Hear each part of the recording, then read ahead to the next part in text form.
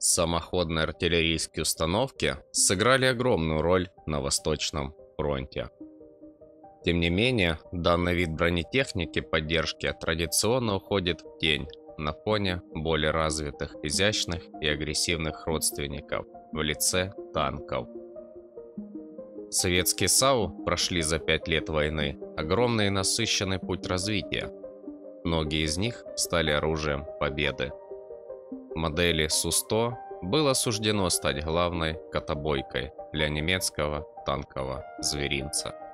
Идейным и конструкционным предшественником советского охотника на танке Су-100 была самоходка Су-85, появившаяся на фронте летом 43 года. Знаменитая 85-ка была сделана на базе шасси танка Т-34 на которую установили 85 миллиметровую пушку штурмовой установки Су-122. Однако быстро выяснилось, что Су-85 все-таки недостаточно эффективно для того, чтобы без проблем уничтожать немецкие «Тигры» и «Пантеры». Поэтому уже осенью 43 -го года советские инженеры начали проектировку новой самоходки. За основу Су-100 был взят средний танк Т-34-85. Разработкой самоходки занимались специалисты КБ Уралмашзавода. В начале 1944 года новая САУ была готова к массовому производству. Главным отличием нового охотника на танке стал, конечно же, еще больший калибр главного орудия. Установка получила нарезную 100-мм пушку Д-10С образца 44 года. Такое орудие могло уверенно поражать любые средние тяжелые танки вермахта. Нередки были случаи, когда Су-100 пробивала с километра лобовую броню «Тигра». С начала 44 года по середину 45 в СССР было выпущено почти 5000 таких самоходок. В движение новая самоходка приводилась четырехтактным V-образным 12-цилиндровым дизелем, двигателем V2-34, системой жидкостного охлаждения. Отдача такого агрегата на пике могла достигать 500 лошадиных сил.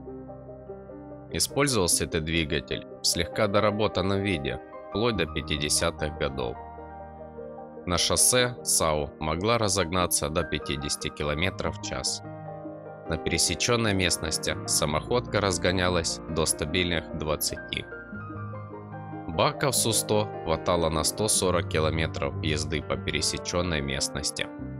Так как самоходка создавалась на базе танка Т-34-85, то она получила новую командирскую башенку для улучшения обзора. В отличие от предшественников, сотая модель оснащалась лучшими средствами наблюдения, в том числе оптикой. Боевокомплект орудия самоходки составлял 33 выстрела. По сравнению с Су-85 новая модель также получила и лучшее бронирование, хотя решительного преимущества здесь достигнуто все-таки не было. Кроме того, производились новые САУ в ускоренных темпах, а потому качество сварки корпуса зачастую оставляло желать лучшего. Впрочем, для охотника на танков супернадежной брони и не требовалось, в силу специфики применения этих машин. Не забывайте ставить лайки и подписывайтесь на канал. До скорых встреч. Пока-пока.